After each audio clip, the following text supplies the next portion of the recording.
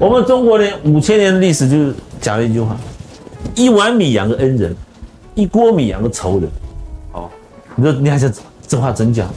今天你们要是好朋友，或者他是你儿子，或者他是你的朋友，你对他一锅米一一碗米就好了，就是普通好就好了。你不要对他太好，对他太好以后，他哪天就恨你、背叛你。为什么？因为你有一天你忽略掉他，只是暂时忽略而已，或者是你对他的感谢的事事表示的方法跟他心里所想的不一样，他就开始恨你。所以真正能够害你的，一定是你对你一定是你对他最好的人。最好好到后来呢，有没有莫之胜呢？通了用莫之胜，在最后的时候看到，所以你说你很伤心很难过跑到这边来，我就跟你讲，害你的一定是你对他最好的，你什么都好的都给他，就他才来害得到你啊。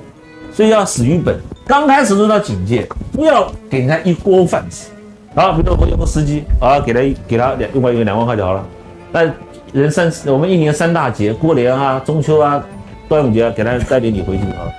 那家里面如果有急事，我们救济他。好，我是这样子带人的，结果他给你带，你没事加他两千、三千，加到后来加到三万，他就背叛你，因为为什么？他认为他值三万五，他今天会这样子，都是你搞出来的，懂不懂？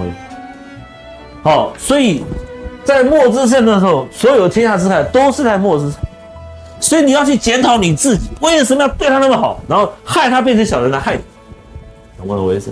你当时，你一般人只看到表面上我被害了，就没有想到你始作俑者是你，懂不懂我意思？谁叫你对他太好？好，所以记得啊，一碗米养个恩人啊，一锅米养个仇人，好。